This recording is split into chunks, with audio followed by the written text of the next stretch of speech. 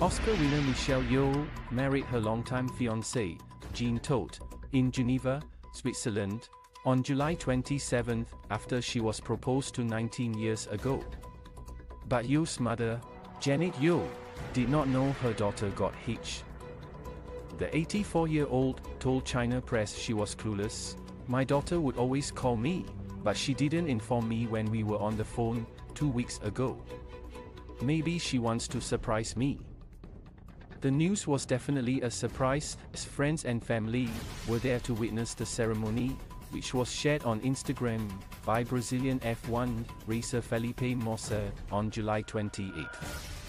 The elder Yeoh added that she hopes her daughter will return to Malaysia to hold a wedding reception with family and friends. Nonetheless, the mother said she often urged her daughter, 60, to get married and was stoked by the news. Yeoh's mother added, Jean proposed to my daughter many times, and she would laugh and say she enjoys being proposed to. Jean loves her very much. Todt, 77, proposed to Yeoh on July 26, 2004, a month and a half after meeting the actress in, in Shanghai, China on June 4, 2004.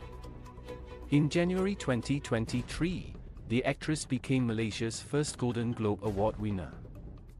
Shortly after in March, she became the first actress of Asian descent to win the Best Actress trophy at the 95th Academy Awards for her role in Everything Everywhere All at Once.